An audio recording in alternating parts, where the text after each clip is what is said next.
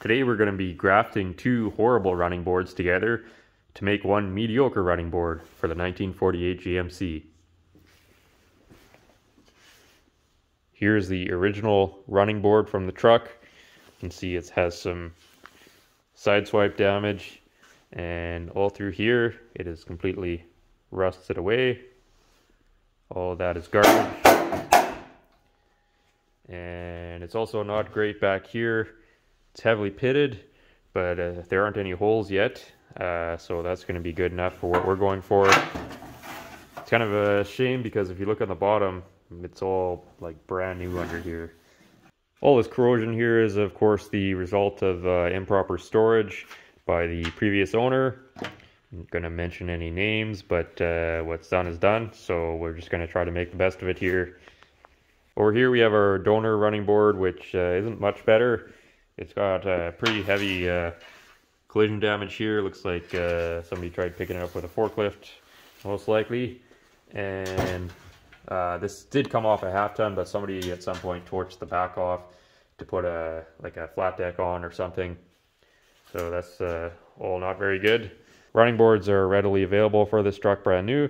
So we're not going to be making a perfect running board. Basically, the plan is just to very, very crudely rough out the damage on this one and then literally weld it on and whatever it is is what it's going to be. I just don't want any holes because if there's holes, it's no longer a functional running board and the whole truck is pretty beat up. So we're just uh, trying to make it usable as it is. So I'm not spending any more time on this than uh, what's absolutely necessary for a crude repair. So I wasn't even going to film any of this, but then I thought, well, if somebody has a rare truck where running boards aren't available, you could do something similar if you took your time and you could get good results. In this case, like I said, we're just going to hammer through this and make it, uh, it's going to be rough and ugly, but it's not going to have holes in it when we're done. So let's uh, get started here.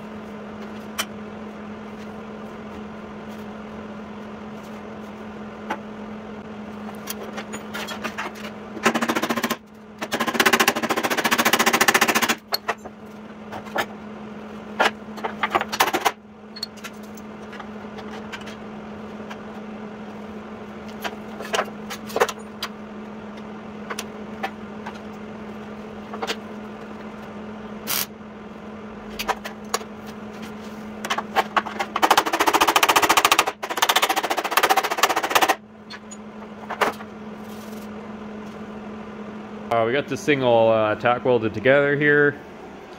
I just wanted to point out something here of great importance. If you look here, you can see there's a great deal of misalignment here. Where this is a lot more uh, squared off and this is more rounded off. And the reason for that is, is that this running board came off a 1953 truck.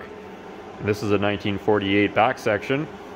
So by the time they got around to 1953, the uh, dies were a lot more worn out. So the stamping is not the same. And if you look at the uh, the actual beads as well, you can see these are a lot more squared off. These are more rounded off. Now, what are we going to do about this horrible misalignment, you might ask?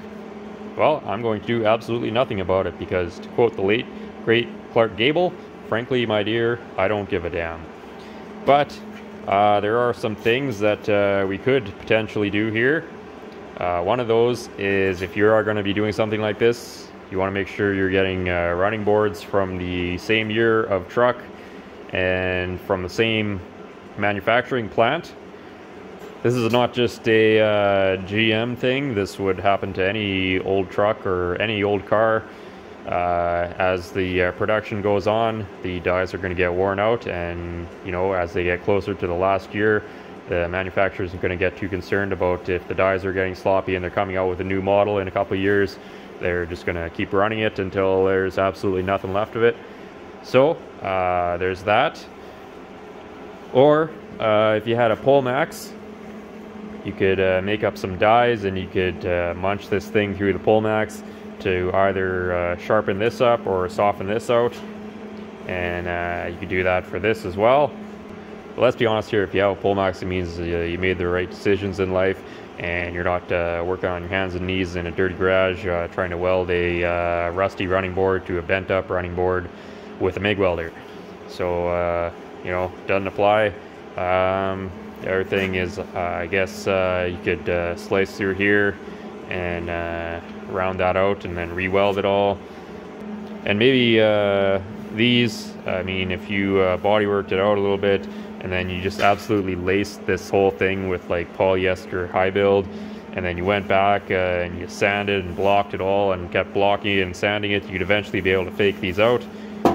But uh, again, how much time are you uh, willing to invest in a running board that you can buy brand new for $300? So, in what we're doing here uh, for a beater, this is going to be fine. I'm not uh, losing any sleep over that. It's uh, better than a bunch of holes where your feet go. Um, but uh, if you were again doing this on something you cared about, pretty important to find running boards from the same year uh, vehicle. Like I said, as the production goes on, the dies get more worn out, and uh, it's just a universal problem. So that's enough of that. We're gonna weld this up and we're gonna grind it, and then it's gonna be good enough.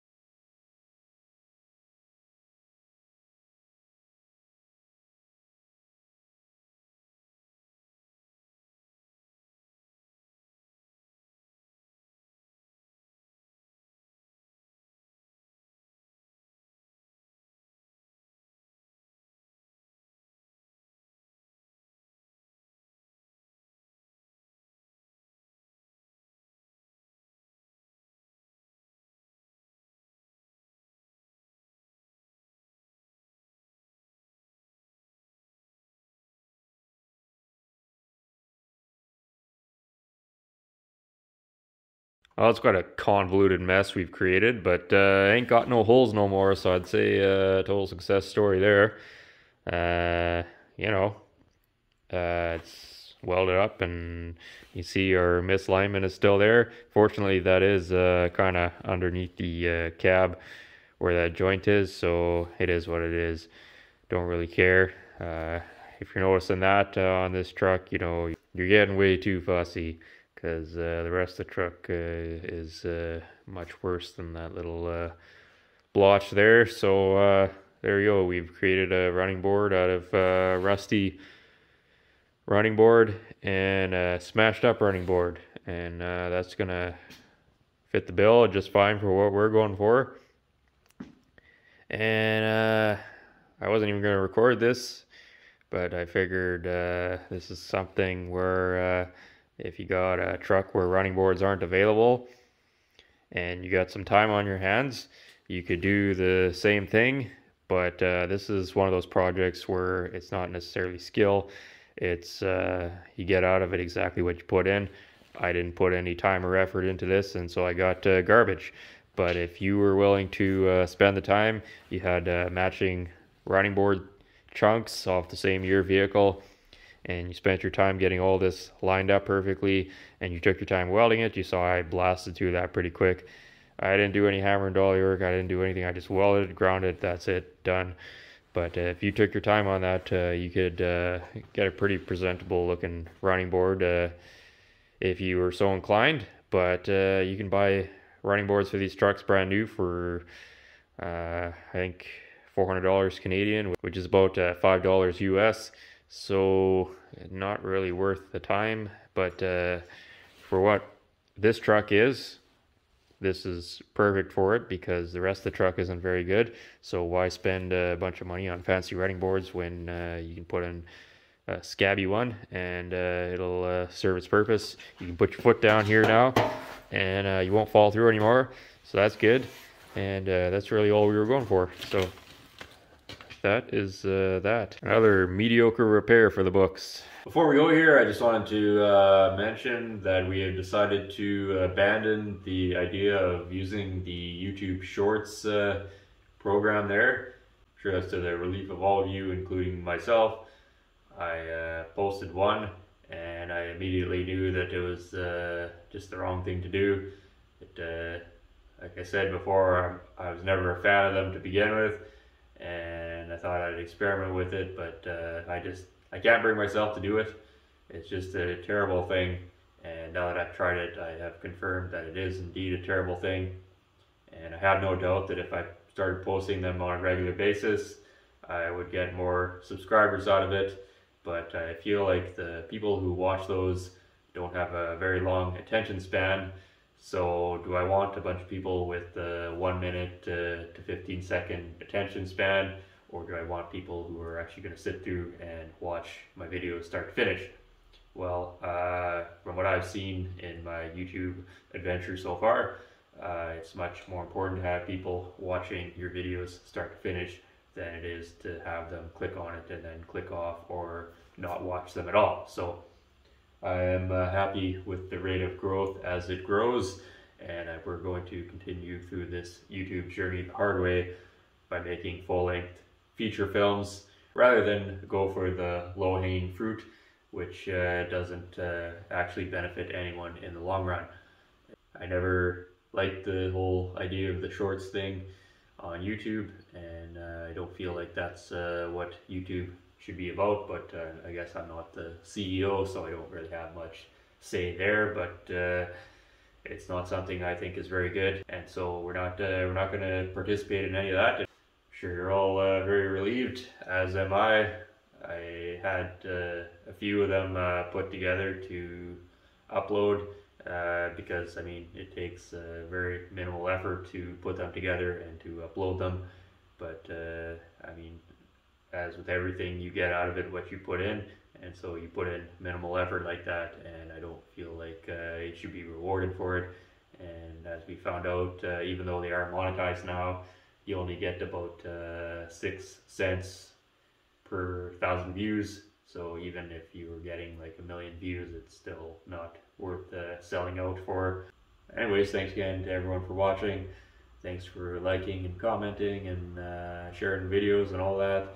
Thanks to all people sending uh, super thanks. And uh, once again, uh, huge shout out to all of our patrons who have uh, really been keeping the show on the air this whole time. So, and we'll see you again when I've got uh, another video lined up, I guess.